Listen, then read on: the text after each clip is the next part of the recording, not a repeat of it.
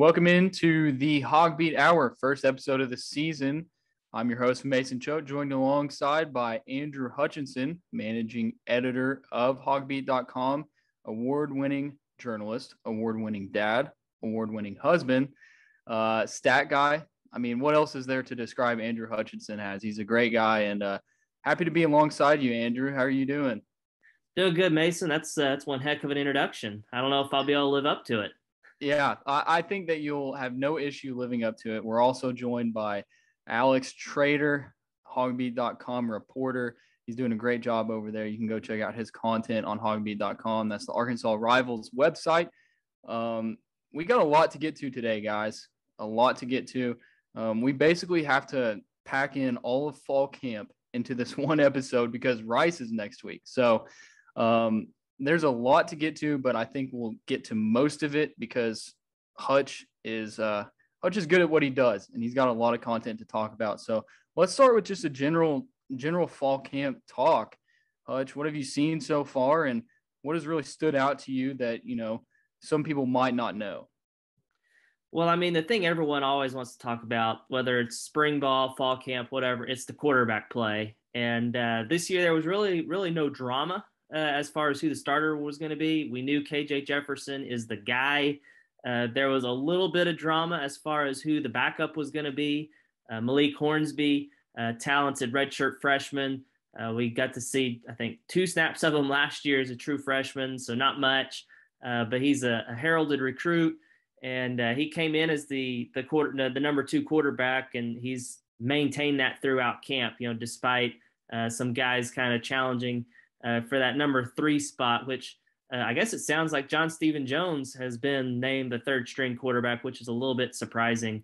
Uh, that I guess came out during Sam Pittman's uh, Wednesday night radio show at the Catfish Hole. Uh, but uh, that's so I mean that that's probably the, the number one topic everyone talks about every year is is who's going to be the quarterback, and it sounds like KJ Jefferson is really kind of taken that role and run with it. Uh, he uh, has become more of a leader, more of a vocal leader.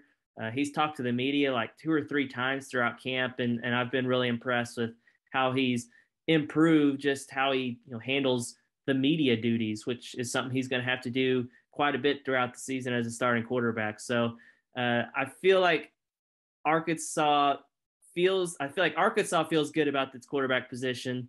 I don't know how confident I am. I think he's going to be good, but it's still kind of an unknown. You know, even though we have seen a little, you know, we've seen him have success against Missouri last year, uh, but they know who he, that he is the guy, unquestioned. There's not a, like a, a, quarterback battle that's going to linger into the season like Arkansas seen in the past. Uh, I want to get Alex in on this as well because he's been out there doing some video work. Alex, have you really seen anything different from KJ Jefferson in fall camp compared to what we saw last year during the season? Have you seen any improvements? Anything that looks a little bit better with mechanics, the way he's throwing, stuff like that? Because we've heard Kendal Briles say that his accuracy is better, his movement is better, but um, have you been able to see that on the field and in the film? Yeah, and I mean we've seen a lot more of him this fall camp than we did last season, and you're seeing every couple days he's gonna he's gonna drop a throw right where it needs to be, and then um, the receiver will either make a great catch or it'll kind of kind of just slip out of his hands but you're seeing those throws be where they need to be. You're not seeing him miss many of those those quick slant routes or those posts putting it behind him.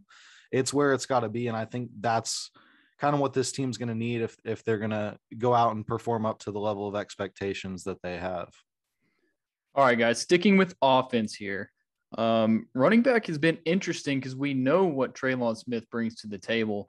Um, I talked to his offseason trainer last year, actually, and he told me that he believed that Trelon was one of the best running backs in the SEC. And this is a guy who trains NFL talent. He also trains Isaiah Spiller from Texas A&M. Um, and he really, like, he told me that Trelon Smith should have been starting over Rakeem Boyd all year. Um, so whatever that tells you. But we know what Trelon Smith brings. We know he's going to have a bigger role. Rocket Sanders, been one of the biggest stories in camp so far. Hutch, what do you think of Rocket Sanders? And do you think that there might be a RBA and RBB at number one between Smith and Sanders, or do you think it's all Smith's job and then Sanders will contribute?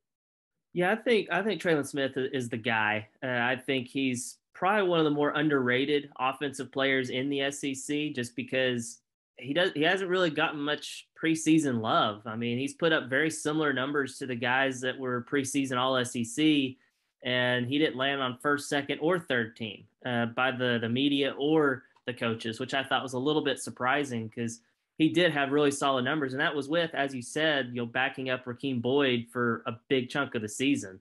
I think if he was the starter all year, he probably he, he may have had a, a legit shot at being a, a, thousand yard back in a 10 game season against all SEC opponents. And that that is saying something. So I think Trelon Smith is the guy, uh, but Rocket Sanders has really impressed me throughout camp. I mean, I, I was a little bit unsure. He, he showed flashes during the spring, you know, because he was an early enrollee.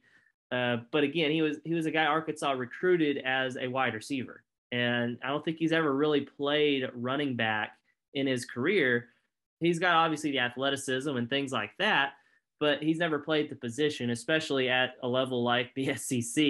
Uh, so he was a little bit up and down and really didn't didn't really separate himself during the spring, but uh, here here in the fall, you know, you could tell he just got a better understanding. He feels more comfortable out there, uh, and he looks like an SEC running back. And he's also bigger than Trelon Smith, so I could see him being used in certain situations. You know, needing to run between the tackles and uh, things like that. You know, just because he's bigger. Uh, but I, I, still think he's there's a pretty clear, you know, RB one and RB two. And he's wearing that coveted number five jersey, which some people think should be retired. I think I might be among that group of people. But um, aside from those two, who we know are going to be one and two, you got guys like Dominique Johnson, Josh Oglesby, uh, TJ Hammonds, even um, Hutch and Alex. You can get on get in on this as well. Who do we see as the three back? And do we see it as kind of maybe a running back by committee when it comes to the three back or is there a clear guy that is going to be number three? Yeah to me i think it's going to be kind of by committee and going to be situational. Like you know josh oglesby you mentioned him. He is an all-american sprinter on the track team but he's also 5'7 170 so he's, he's not very big uh, he's not a guy you're probably going to run, you know, 15 times a game or something like that, uh, which obviously you wouldn't need that from your number three back anyways. Uh, but he does have that elite, you know, potentially game changing speed where if he gets out in space, he could do something. Uh, Dominique Johnson, he's the biggest running back in the group. He's even bigger than Rocket Sanders. Uh, maybe he's a guy that could be used even in like, you know, short yardage situations or, you know, things like that. You know, he actually got a stint with the tight ends during camp. Uh, so obviously they feel like he must, you know, block decent. So maybe he could be a guy that could go in there and, and protect and, and block, uh, plow, you know, open holes or something like that. TJ Hammonds, I think he's the ultimate Swiss Army knife. He could line up in the backfield. He could go split out in the in the slot. He could run routes. Uh, so I think you're going to see all those guys. You know, another guy, AJ Green, is another freshman. I think we're going to get to see a lot of him uh, he's just been banged up in camp, but he is just oozing with potential, speed. Uh, he could be kind of a mix of these, you know, smaller backs like Smith and Hammonds and Oglesby, but also, you know, he's bigger than them, but also not quite as big as, say, a Rocket Sanders or Dominique Johnson. So uh, there, there's definitely talent in that room, but outside of Trelon Smith, we, we don't really know what they can do at the college level. All right, we'll move on to the offensive line who's going to be protecting for those running backs. Um, it, it's a big deal that you return all five of your starters from last year. That's another year under offensive line guru Sam Pittman. So, uh, of course, they have to get better. I, I'm pretty sure most of them have put on weight. There was a stat like before before they or before Pittman got here when they were under Chad Morris, the average weight of the offensive lineman was under 300 pounds, if I'm if I'm not mistaken. And now they're sitting at about like what 317 318 average weight per per guy. So they're going to be pushing some bodies around. We know ricky stromberg has had some injury issues. So hutch is there a timetable with stromberg when he's going to come back? And then there's there's a battle at left guard as well.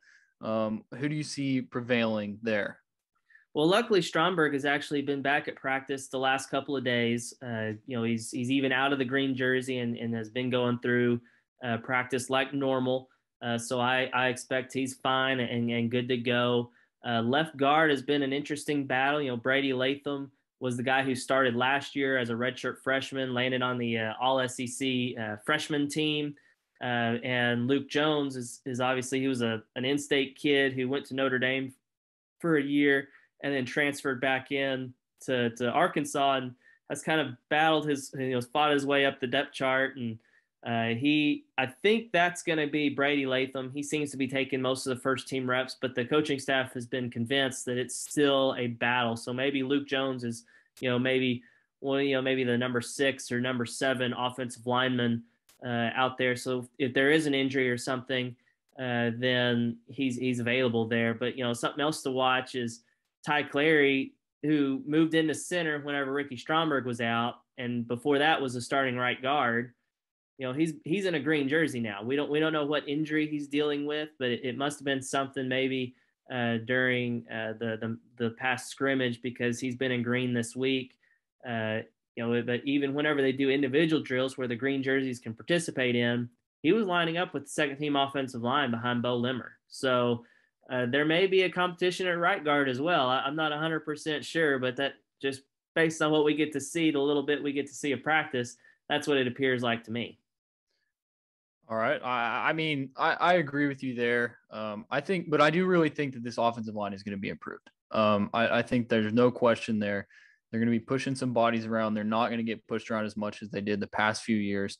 Um, and I, I think you're going to see that transition into a better running game, better pass blocking, which you need for a guy like KJ Jefferson, who he said he's not going to run a whole lot and he's not looking to run, but he's probably going to be out of the pocket here and there. So um, we'll move on to wide receiver though. And Alex, I'll ask you first. We know what Treylon Burks brings to the table. We know that, I mean, preseason All SEC first team, preseason All American. I mean, he's got he's got the accolades. But let's look at the number two slot and the people who are going to be competing behind him. We know some names. We've heard some names. We know De'Vion Warren, um, but who do you see as a guy who's going to you know step step onto the stage and do well this year behind Treylon Burks?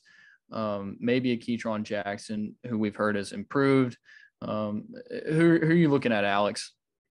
Yeah, you nailed two of them there. I think the big story at wide receiver this year is going to be uh, whether or not the depth ends up coming through and being as effective as it can be. You've got guys like Jaquayln Crawford, you've got Ketron, as you mentioned, uh, Tyson Morris, and then Trey Knox is still in the mix. He had he had a huge freshman year and then kind of tapered off a little bit last year. I'll be interested to see what all those guys are able to do and if one is truly able to emerge into that that second second guy behind Treylon Burks. Hutch? Yeah, I mean, there, there's lots of options there. I mean, I think the one everyone's all excited about is Ketron Jackson, just because he is a true freshman. Uh, and, and I mean, heck, Sam Pittman said the other day that he thinks he's at least the third best receiver on the team, could be higher, which obviously we know Burks is number one. Uh, so that would maybe mean he could be potentially the second best receiver on the team. And that would be uh, pretty awesome if, if he could live up to the hype there. Uh, but he is a true freshman, and it is hard. I mean, even Treylon Burks, who I think we all can agree is just a freak of nature. Uh, and this also could have been part of you know the coaching staff at the time. But in 2019, when he was a true freshman, he only had I think like 27 catches, something like that, for 400 something yards. So it's not like he put up you know huge, massive numbers as a true freshman, uh, like we see some some guys across the country. But Ketron Jackson, you know, he doesn't he doesn't have to go out there and have 800 yards whenever you've got Treylon Burks. You know, assuming he's healthy. Uh, if he could go out there and have a Treylon Burks like freshman year, that would just be massive for Arkansas because it could relieve some of the pressure from Treylon Burks. All right, guys, coming up in the show, we're going to talk some defense. We're going to talk a little bit of special teams. Cam Little is he the next big thing? Is he the next Zach Hocker? Um, and then we're going to talk some recruiting and a little bit of a season preview here on the HawgBeat Hour. Welcome back into segment two of the HawgBeat Hour. I'm Mason Choate, joined alongside by managing editor of hawgbeat.com, Andrew Hutchinson, and reporter from hawgbeat.com, Alex Trader. Guys, we talked a lot of offense in the last segment, but we got to talk about that defense. That's, I mean, it's a defense that returns a lot of talent. You got the two leading tacklers in the SEC at linebacker from last year. Jalen Catalon, who some people say might be the best safety who's ever come through Arkansas. Um, but defensive line is where I want to start because last year the entire defensive line was Jonathan Marshall and he's gone. So, Hutch, I'll start with you. They got some transfers, uh, two Missouri guys, the Illinois State guy, John Ridgeway. Um, what do you see that defensive line doing this year? Where do you see it shaking out as far as who does what? And uh, maybe even the returning guys. I mean, you got guys like Isaiah Nichols, Eric Gregory, who you know can help. But what what do you see that happening happening there?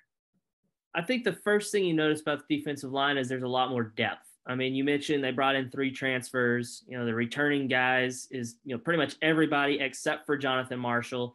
Uh, so there are definitely a lot of pieces there. I think there's guys that are capable of playing in the SEC. The question is, do they have a big time pass rusher? Do they have somebody like a Trey Flowers or Deatrich Wise or, or someone like that who can really get after the quarterback? And I'm just not 100% sure yet. And I mean, part of that is because all we've seen is spring ball and fall camp, and you can't you can't do anything with quarterbacks. You know, you can't you can't actually tackle them or anything like that. So is is one of those guys capable of being that? I mean, Trey Williams, uh, one of the Missouri transfers, I think could be that guy. And he showed flashes uh, at Missouri. Uh, he's a former four-star recruit uh, and was was heralded coming out of high school, and you know had some success under Barry Odom. You know, could he have success under Barry Odom here at Arkansas? Could he be a guy that gets after the quarterback? I think it's possible. He he did miss a day of practice this week uh, with an injury. He was back in green yesterday, uh, which I think is a good sign with with you know the game still over a week away. Uh, but I, I think that he could be that guy. But I think we're going to see a lot of different pieces, especially in this Rice game. I think we're going to see a lot of defensive linemen until they really figure out who their top guys are. Yeah, you know, I, I agree with you there. The depth is there, but are you going to have a guy who just stands out? Like, I mean, Jonathan Marshall last year. You said it, Trey Flowers, Deatrich Wise. Like, you need one of those guys because this is the SEC. You have to get pressure, and Arkansas hasn't been able to do that in recent years. And that's why they're getting scored on so much. You know, if you can't create pressure, then that just leaves the field wide open for them. So, um, defensive line is going to be interesting. But I want to talk about linebacker. We know what's going on with Grant Morgan and Bumper Pool, Hayden Henry as well. Who do you see coming in behind those guys, um, Hutch? Because they're going to be on the field most of the time. But who's going to come in when they're tired and they got to go out? Yeah, I mean, I, I, honestly think those three guys, which you know, I think is worth noting too. Everyone kind of assumes you know Grant Morgan and Bumper Pool are going to be the starters, but based on what I've seen in camp, I think Hayden Henry might start over Bumper Pool. Uh, I think that that is a legitimate possibility. Apparently, they've been rotating, but every time I've been watching, you know, the team segment when we get to see them actually run, you know, ones on ones, twos on twos, it's been Hayden Henry with the ones. So uh, that that may be something to watch. But I, I, really think you know when one of those two guys gets tired, it's gonna be bumper pool rotating in or vice versa or whatever. I, I see those three guys taking I don't ninety percent of the linebacker snaps. I, I really do. Uh, the the next group, I mean, I think Andrew Parker is, is the first name that comes to mind. He's played. He's got a significant number of snaps under his belt. He's a redshirt junior at this point. Uh, I think he's probably that next guy. Uh, but I think a name everyone wants to see more of is is Chris Paul. Uh, he's a true freshman. I just don't know if he's going to really crack the rotation because I feel like if say those top three guys take 90% of the snaps, I would see Andrew Parker taking 5% of that. And then that remaining 5% would probably be split between guys like Dion Edwards. He's another super senior. Hasn't played a whole lot though, so I don't see him playing a ton this year. Uh, Jackson Woodard, a walk-on who who actually played some last year as a true freshman walk-on, and then you, as I said, Chris Paul. Uh, not a lot of snaps to go around for those guys though. When when you got that top trio, assuming they stay healthy. Alex, I want to ask you this: How big of a deal is it that Grant Morgan decided to come back as a super senior to play for Sam Pittman? After he led the SEC in tackles last year, by far the best season of his career. How big of a deal is it that, you know, he showed, hey, I want to play for you guys and I want to win some more games at Arkansas? It's a huge deal, and one thing he's talked about in his time with the with in the media sessions has been the brotherhood that they kind of have as that linebacking core and as that defense. You know, they'll go and they'll play pool. Um, they'll they'll kind of just hang out and do whatever they can to try and stay close as a unit. And I think that shows when you're on the field and you're able to trust the guy next to you. Uh, you just really hope that he's able to bring back that same level of production that he had last season. If he can build on that that season he had last year then you're really going to have a, a strong center of that linebacking core to look to. All right, going to another position battle. It's at cornerback. There's a lot of talent there. Um, a lot of guys who played last year and did well. Uh, we know the struggles that you know Hudson Clark had. He had that one big game, but then there were a lot of times he got burned. Um, Joe Foucha though, he he's good. Eric Brooks or uh, Greg Brooks, sorry, Greg Brooks Jr. He's good as well. Um, Hutch, how do you see that shaking out? Who's going to play where in the secondary? And uh, do you see one of those guys just really breaking out this year and, you know, getting a step above of the others? I think the the the top. I mean, obviously the secondary is led by you know in the safeties uh, with with Jalen Catalon, but as far as the other guys that maybe aren't quite as known, I think Montaric Brown is going to be potentially an all SEC caliber corner. Uh, I think he he's got the he's got one side of that field locked down uh, as far as a starting job is concerned, and I, I, really think he could be really good. He he is steadily you know graded out higher on Pro Football Focus each year, and uh, I, I, think he's going to be a guy. Uh, that that can be an all SEC caliber guy. Now the other side, that's kind of where the battle is, and and it it seemed to be between LaDarrius Bishop and Hudson Clark. Uh, it seems like Darius Bishop has pulled ahead in that battle. Uh, he is by far the most athletic. I mean, he may be the most athletic guy in that secondary. He's super fast and just just tons of raw talent. Uh, it's a matter of can he, you know, utilize that talent to to actually be effective out there, and, and I think he can. Uh, Hudson Clark, you mentioned him. He did have that incredible game with three interceptions against Ole Miss uh, but did struggle. However, I've seen him. I, I, feel like he's improved this camp. I was watching some one on ones the other day in, in practice, and he had a couple of nice, really pass breakups, which is really, really tough to do in one on ones. It's it's set up for the receiver to to succeed more times than not, and to have two pass breakups like he did was pretty impressive. So I wouldn't count him out. I, I fully expect him to play as well. Uh, but I think those three guys are probably your top corners, you know, in, in Clark, Bishop, and then of course Brown.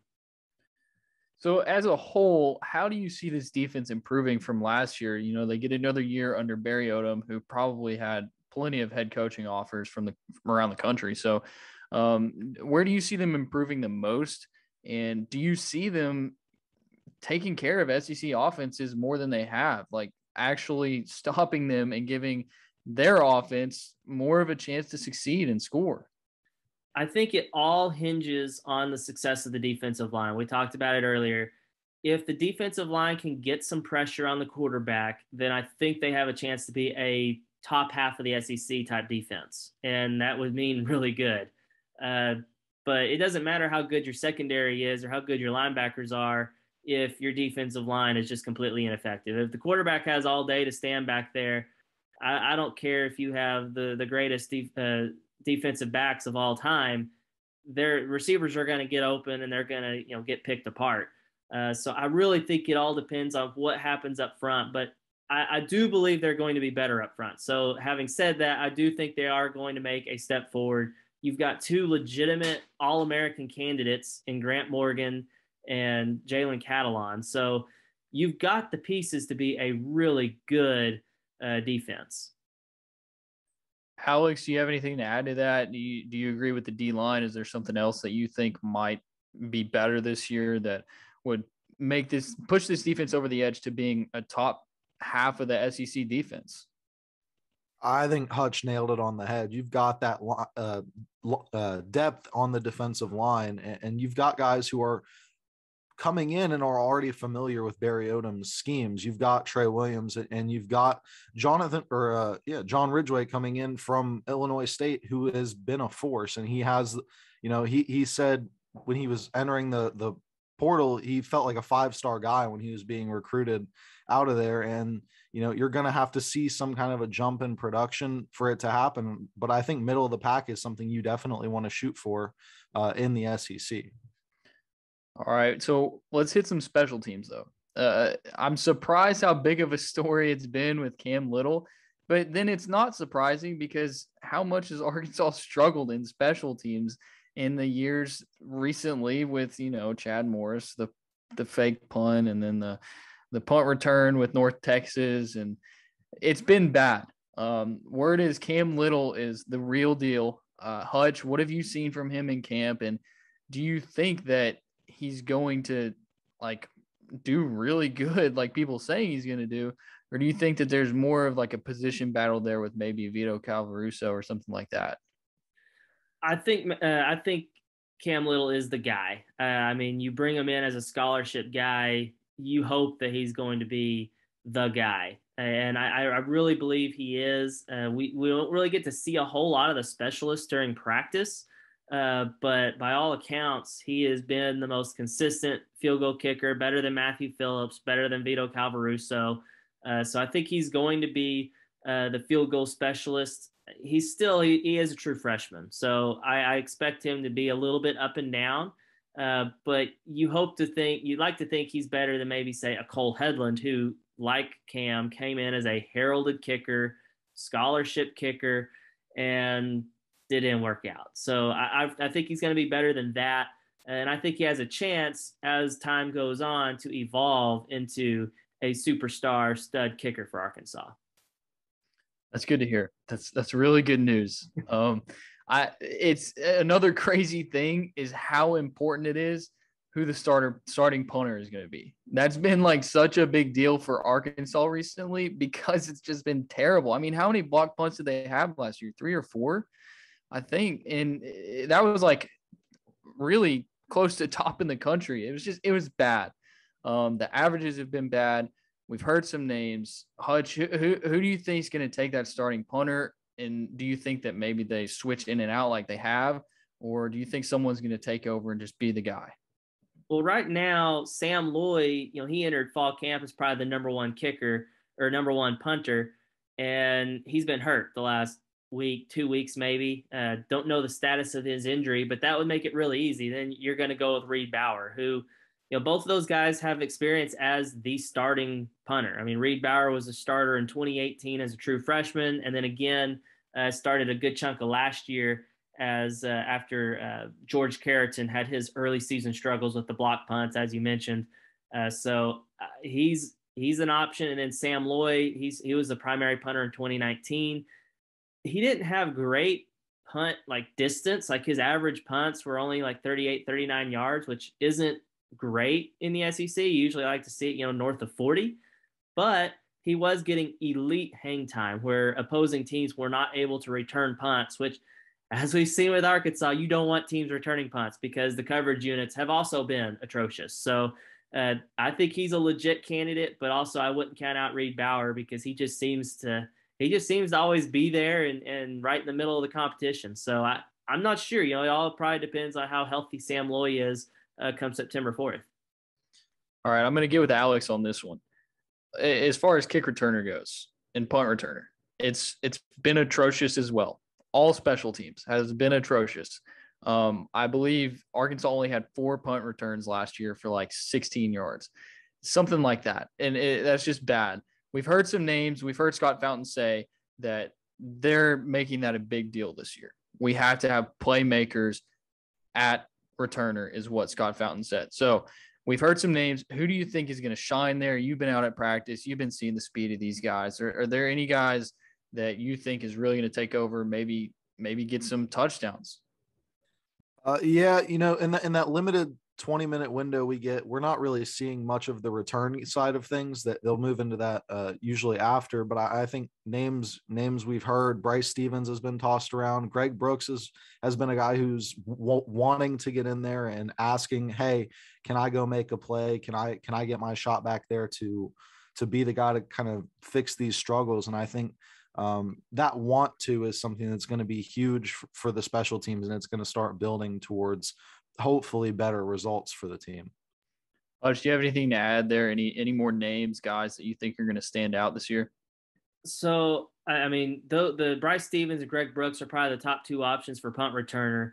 Uh, sounds like Greg Brooks is probably the leader. Uh, as far as kickoff return, I want to say they've they've mentioned LaDarrius Bishop, you know, the, the speedy corner. I said he's he may be the fastest guy on the team, so uh, that would be good. You know, I'm trying to remember who else. I mean, it, it's really it's kind of a crapshoot because they can't they can't practice it full speed in, in practice because they're worried about injuries and, and things like that. Uh, but it sounds like him. Myles Slusher is a name I've heard thrown around some. Uh, trying you know, Josh Oglesby, I think, and, and TJ Hammonds have gotten some looks back there. You know, those are, you know, elite speed guys. Uh, I think that's really the number one thing on kickoff return is, is speed. Uh, punt return, you need somebody who can actually catch the punt and also maybe is a little bit more elusive compared to just fast. So uh, it's going to be interesting to see. I, I'm I'm really anxious to see if they can get some production from special teams this year because we can't say it enough. They were so bad last year. They need to be better.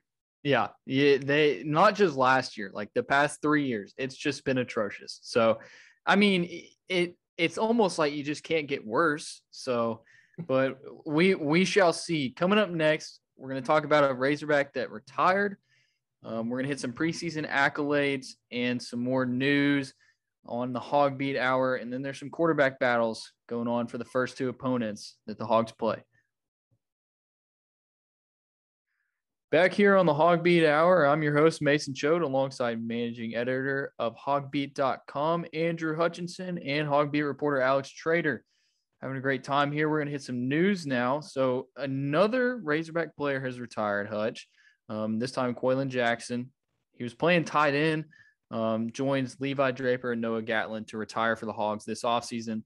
Um, just what do you know about that situation and how's it going to affect Arkansas? Yeah, Koilan is a guy that has battled injuries his entire career. He had a, a torn ACL that uh, basically wiped out his, his true freshman year that caused him to redshirt. Uh, he had a knee surgery at some point last year that that ended his season early. Uh, so uh, he's he just always had knee injuries and just really unfortunate. I don't really think it impacts Arkansas too much. He was a wide receiver that converted to tight ends and was was running with the tight ends, but it, it seems like you know Hudson Henry, Blake Kern, and maybe even Nathan Bax are kind of the top guys there. Uh, so he probably going to contribute more than maybe on special teams. Would have been cool for him though. You know, he had you know moved to tight end and also changed his jersey number to 88, which is you know just like his dad Keith Jackson, uh, the legendary tight end, went to Oklahoma and played in the NFL for several years.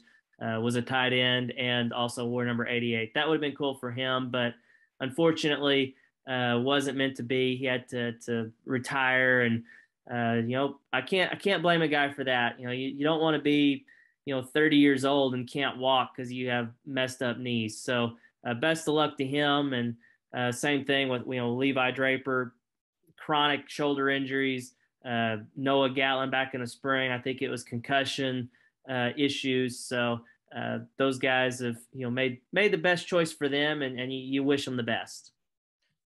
And we didn't get to talk tight end really in our offensive segment earlier. So I, I want to ask Alex here as far as tight end goes, you know, th- there were big expectations for Hudson Henry when he came to Arkansas. Of course, you know, he's a Henry. Um, so that's a big deal, first of all. And second of all, he hasn't really done much. Um, you know, last year I projected him or predicted him to be the breakout player for the Arkansas offense, and he really let me down. So, do you see him doing any better this year, or do you see Blake Kern kind of getting even better? How, how do you see tight end position shaking out?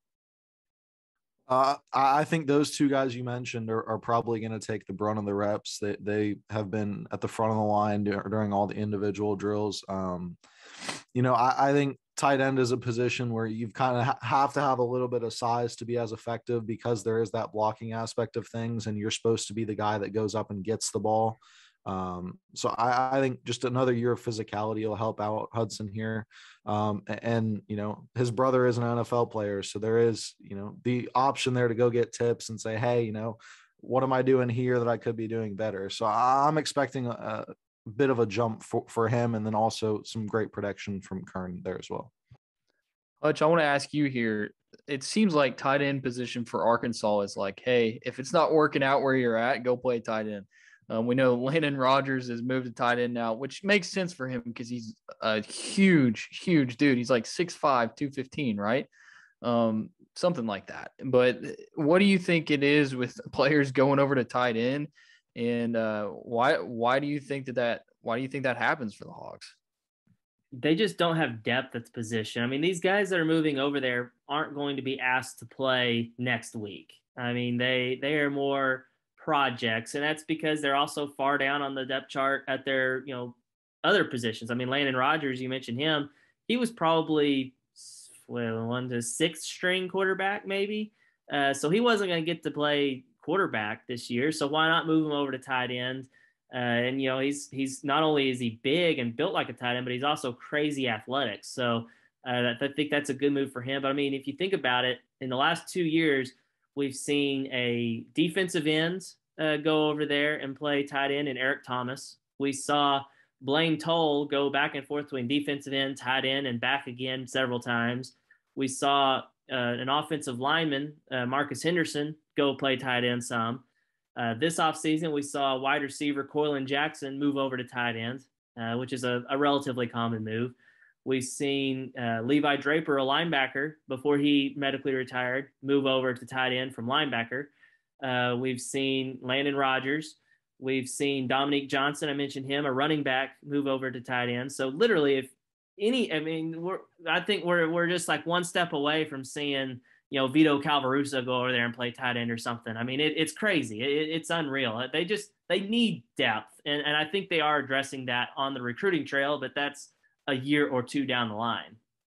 Yeah, it is impressive what Dow Loggains has done so far on the recruiting trail at tight end. Um, I do just want to mention that it's crazy that freshman Landon Rogers looks older than all three of us combined.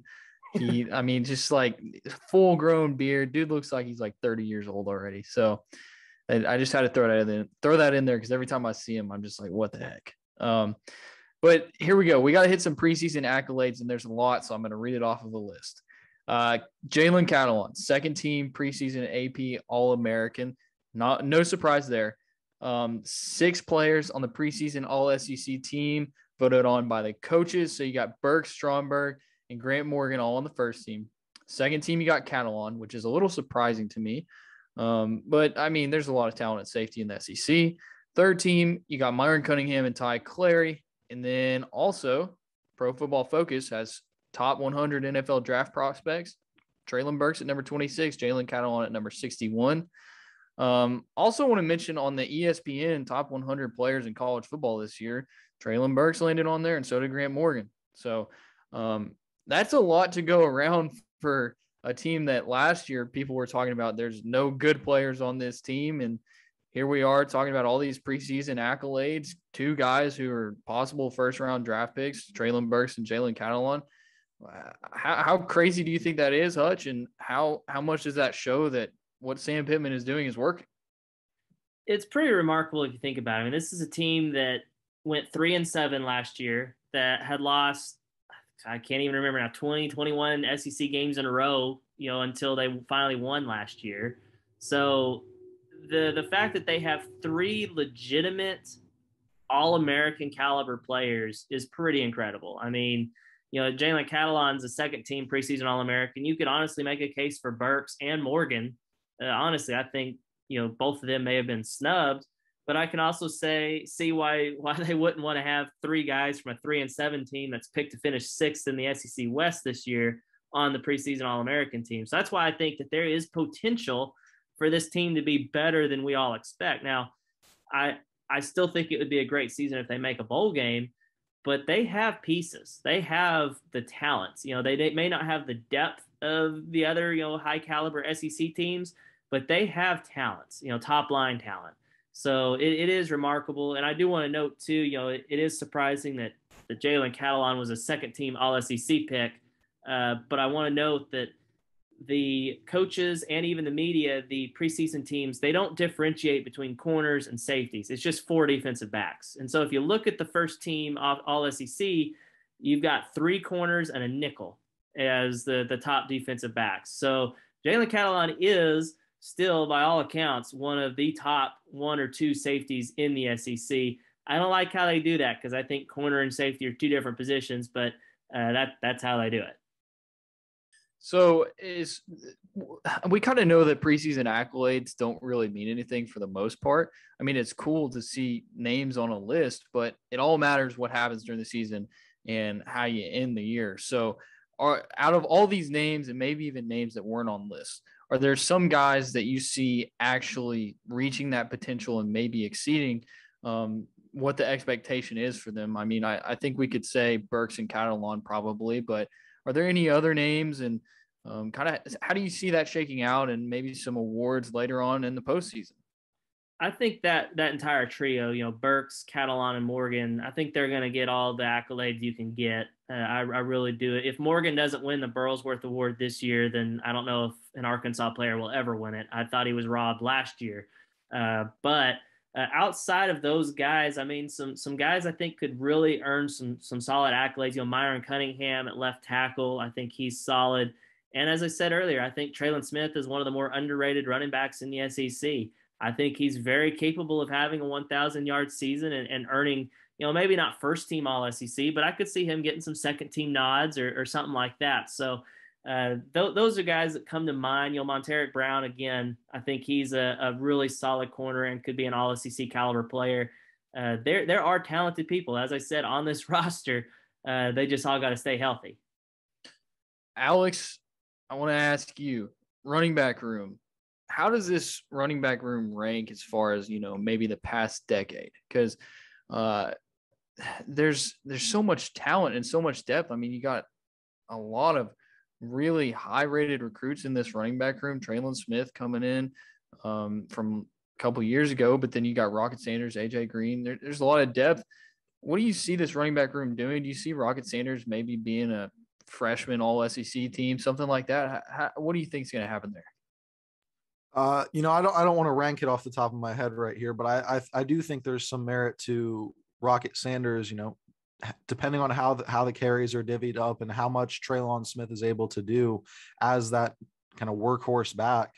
Uh, if he's out there carrying the load and and, and putting up a, a ton of carries, then you might not see Rocket Sanders have that same kind of impact. But if it's kind of a committee approach um, and they're able to have all those guys be efficient with the carries that they're given, then I certainly think there's room for for a bunch of different guys. You know, Hutch mentioned them earlier, Smith, uh, Sanders, Oglesby, Green. I think all these guys are going to have their different niches and where they're able to plug in best. And I think if they are all able to be effective with that, then it's going to be a very solid group for uh, for Kendall Briles to work with. All right, guys. I, I think that's a good wrap up for fall camp. Now let's look to moving forward. Rice next week. Uh, a lot of people were looking past that game because you have a huge game the next week, Texas. But let's talk about Rice first. Alex, you've been looking at their offense. I'm pretty sure there's still a quarterback battle going on there. Um, what what do you see from Rice so far? How do you think that they're going to match up against the Hogs as far as let's just start with the quarterback battle they got going on? Yeah, so this quarterback battle is is really the one out of those those first four weeks where we're not really seeing anything. We we saw the other two kind of have a bit of a, a wrap up yesterday, but you've got Luke McCaffrey and you've got Wiley Green, and they're both taking first team reps. Um, the the guy who kind of led the team last year and JoVoni Johnson doesn't really seem to be getting much of a shake here. You know, Bloomgren Bloomgren is not mentioning him too much, but uh, I think what they have is a unique opportunity because Wiley Green started for the team two years ago. He has 10 starts for the team. Um, but he was he was kind of replaced last year by Johnson, and then you've got a Nebraska transfer coming in who you know spent two weeks at Louisville and now he's back, but he didn't come to the team until the middle of the summer. So, uh, is he going to be ready for that Week One matchup against Arkansas, it, or will they have Wiley Green taking those reps until you know he's likely supplanted by McCaffrey later on? All right, that, that's interesting. Um, I think JoVoni Johnson's a really good player. Um, I actually watched him in high school a lot. He's a very athletic dude. Accuracy was what he had to work on. I'm pretty sure he's fixed a lot of it, but they they brought in some dudes but let's look past Rice. Let's just look at the season in general.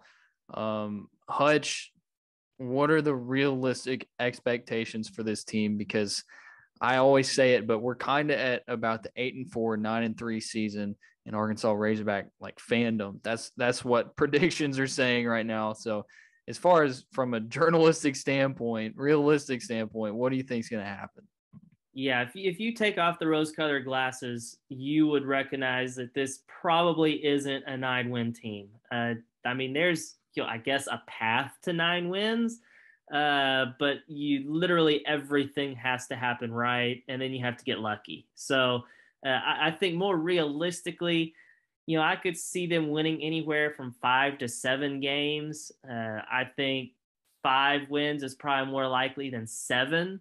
I know Arkansas fans don't like to hear it. I think my I'm I'm leaning personally towards six and six. I don't think they can beat Texas. I know that's a game everyone's like, oh, well, we can beat Texas. It's Texas. They they suck. But realistically, they are a good team. I don't know if they're preseason top 25 good. They always seem to be a little overranked in that regard, but it is a team that recruits consistently better than Arkansas. I think Sark is a is a fantastic offensive mind. He's going to make it tough. They are probably going to have a, a, freshman quarterback in there, but still, I, that's going to be a tough game for Arkansas. But you know, win the other three non-conference games and and win three SEC games. That that gets you right at six and six and and heading to a bowl. I'm curious, what do you see as the most winnable SEC games? Because you look at teams like Ole Miss, Mississippi State, and Missouri. Those are the ones in my mind that are your most winnable games. Um, I'm sure you'll probably agree with me there, but it, it, are there are there any other games? Maybe LSU, maybe Auburn. Um, that's going to be a big game after what happened last year. So, are there any teams that you think are almost a lock as a an SEC win this year? I don't know if any of them are locks, just because we are. It is. It is still Arkansas. It is still a program rebuilding. Uh, I don't think anyone can argue that. I mean, Sam Pittman certainly has the program on the right direction, but is it, it, are they to a point where anything's a lock? I don't think anything other than maybe UAPB is a lock for a win this year. I mean, even Rice and, and Georgia Southern are quality quality teams, they teams you should win uh, and beat. Uh, but as far as you know, I, I, mean, you mentioned the two Mississippi schools in Missouri; those are the most you know common answers. I think Auburn is another team. You know, getting them to come in to Fayetteville, the way last year's game ended probably sticks in Arkansas's crawl a little bit, and they're going to want to get some redemption there.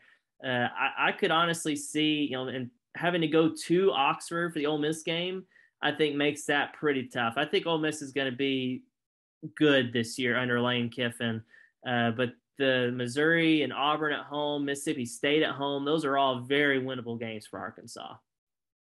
All right. I mean, I agree with you there. Um, Ole Miss, I mean, Matt Corral, or is it Coral or Corral? I've never, I've never been able to figure it out. Corral. I'm not 100 percent sure though. Okay. Uh, either way, he I mean he's projected to be the number one quarterback in the SEC this year as far as just preseason is looking. So that'll be an interesting matchup there in Oxford. So moving forward, next segment, we're gonna wrap up. We're gonna talk some recruiting. Um, Hutch, you've basically taken over recruiting for HawgBeat, so we'll see what you have to say. Alex has been diving into it a little bit as well. So we'll talk to you guys about that next, and we will wrap up here on the HawgBeat Hour. Back here on the HawgBeat Hour, we're going to talk some recruiting this segment with the managing editor of HawgBeat, Andrew Hutchinson. Um, Hutch, first of all, you've kind of taken over recruiting. You got Alex. He's on the program as well. Alex is going to start doing some more recruiting, but um, we'll talk to you first, Hutch. This whole Isaac Davis thing, Ernest Green. Um, tell us kind of what happened and what's really going on. Yeah, so uh, this thing kind of went viral this week. Uh, Isaac Davis, legendary Arkansas football player, offensive lineman, early 90s, all SEC guy, uh, played in the NFL.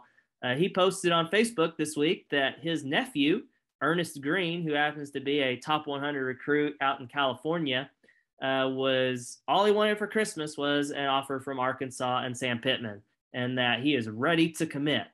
Uh, that, of course, got Arkansas fans super excited because, oh my gosh, we've got the nephew of a famous Razorback who's a top 100 recruit and he's an offensive lineman. Oh my goodness, this is great. I hate to burst your bubble. It ain't happening, folks. He, he did get an offer from Arkansas the other day. Uh, he did post about it. Uh, but I, I reached out to some sources that are in Ernest's camp and uh, was basically told that Arkansas, there, there's definitely no interest there for, for him. Uh, unfortunately, uh, that's not exactly surprising because if you look at his top 10 list right now, it's got Alabama, Ohio State, uh, Oklahoma. I mean, th- these are the kind of teams that he's looking at. Uh, unfortunately, Arkansas just is not there yet. Uh, but you know, hey, it's a it's a fun story. You know, Arkansas got the offer in there. You know, they shot their shot. Uh, but don't don't get your hopes up that that he's going to be committing anytime soon. All right, so let's let's take a look at the 2022 class, which is basically full. Um, they're kind of moving on to 2023. Already got two really good tight end commitments. What what, you, what can you tell us about this 2022 class, and uh, how, how do you think it's going to shape up when they get to Fayetteville? Yeah, so I mean, right now, I mean, it's it's a really solid class. They got 17 commitments. Uh, it's currently ranked 15th on Rivals. Uh, I don't know if it's going to be able to maintain that top 20 ranking, uh, but it is it is solid. It's got some four stars, a lot of you know high quality three stars, uh, which people don't get excited about. But a 5.7 three star on Rivals is on the verge of being a four star recruit. So that is a really solid pickup, and they've got a lot of those kind of guys they're probably only going to be able to sign they, they can sign no more than 22 but that number may drop to 21 or 20 depending on you know say if a warren thompson or a, a cade renfro guys that came to arkansas's walk-ons this year if they get awarded scholarships then that'll take away a scholarship from the 2022 class. It's very confusing but basically they're going to sign anywhere from 20 to 22 players. They're already at 17 uh, so they, they can only add a few more. And as you said, because it's already filling up so much, they've already started really hitting that 23 class uh, and landing Shamar Easter, a top 100 recruit, in state kid that was pursued by all sorts of big time programs from Ashdown. Uh, getting him to start off the class was huge. And then to follow it up the very next day with another tight end and Jaden Ham, uh, another high three star. I know some services have him as a four star.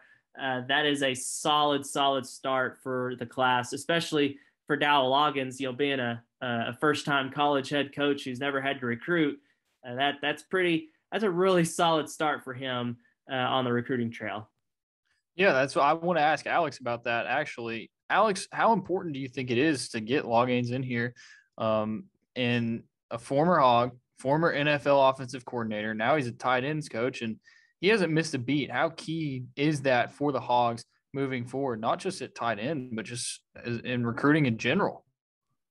I mean, the guy has over a decade of NFL experience in the coaching ranks. That's going to be interesting to some college kids. You know, he has connections in the NFL and having that experience of what it's like to be in the league, it's going to help him have a case for these kids of hey i've been there i can kind of show you the way of of what the process is like to get there and also pulling pulling an in-state top 100 kid is huge especially with with you know arkansas not necessarily recruiting with those alabama clemson oklahoma ohio state. You have to keep the talent you have in your state and and him doing that with easter is a giant plus for the program and then going into kansas and pulling out jaden ham that's another giant add for this team. And Hutch, you mentioned earlier, the tight end position starting to run a little thin. You know, I might be out there next week if, if there's an injury in that group, and um, being able to start building the, that depth for the for the future is is going to be big for this program. Hutch, as far as the 2022 class goes, who do you think's the key recruit from that class so far? A guy that can come in here and be an immediate difference maker. Yeah, I mean, I'm looking at the list now. I mean, they, they've got see five four star recruits. A few of those guys are like you know offensive or defensive linemen. Those guys have a harder time coming in and contributing right away. I mean, Marion Harris from Joe T. Robinson and Little Rock, Nico Davillier, defensive end from Maumelle. Those guys have all the potential in the world, but how how are they going to be able to contribute right away uh, on on the trenches? I'm not sure. You know, I think you know they've got a lot of depth right now in the secondary. So a guy like Myles Rowser, who's actually the highest rated recruit, might have a hard time cracking uh, the rotation immediately. So I'm looking at, you know, maybe like a wide receiver like Quincy McAdoo, another in state guy, four star recruit. I could see him coming in and contributing right away. You know, we talked about the tight ends lack of depth. You know, Blake Kern is going to be gone for sure because he's a super senior this year. And you've got a guy in Tyrus Washington who was recruited by quite a bit of, of big time schools. He's from Georgia, plays a high level of high school football, uh, and he's a high three star recruit on rivals. I could see him coming in and finding his way into the tight end rotation next year, especially if, if Sam Pittman is serious whenever he talks about wanting more uh, 12 personnel, more two tight end sets, uh, because you're, you're, as I said, you're not going to have Blake Kern. So who's going to be that second tight end along with Hudson Henry? Uh, I think Tyrus Washington could be that guy. Uh, and another one that I'm going to mention too is Jordan Crook. He's a linebacker. Uh, they flipped from Oklahoma State. Uh, he is a guy. Again, this is a position that's going to need more more bodies because you're losing Grant Morgan, you're losing Hayden Henry for sure. Bumper Pool is likely gone. He could come back for a super senior season, but probably gone. I could see Jordan Crook coming in and being a guy that could contribute right away. So, uh, gonna be gonna be interesting to see how it all plays out. There's always a surprise or two as well. So, uh, you know, I wouldn't be shocked to see a, a guy that maybe not as heralded uh, come in and, and and burst onto the scene, especially if they're early enrollees. All right, guys. Well, we're gonna wrap it up here. Everything you hear, everything you hear from us, you can get it on hawgbeat.com. Hutch is over there putting out content every day. Alex as well. You can follow Hutch at NWA Hutch on Twitter. Follow Arkansas Rivals. That's at Arkansas Rivals. Go check it out. HawgBeat.com. A lot of great content. I mean, Hutch's VIP content. You can't get anything better. It's what you do. There's nothing better. Your fall cam notebooks. I mean, your long form stories like that Kevin Cobb story was insane, dude. So um, check out all the information that you need for Arkansas sports. It's at hawgbeat.com. Check him out on Twitter. That's where he puts all of his stuff out. And uh, be looking out next week. We're going to do an in depth Rice preview on the HawgBeat Hour. And that's what you've been listening to the HawgBeat Hour. He's been Andrew Hutchinson. He's been Alex Trader. And I've been Mason Cho. Thanks for listening.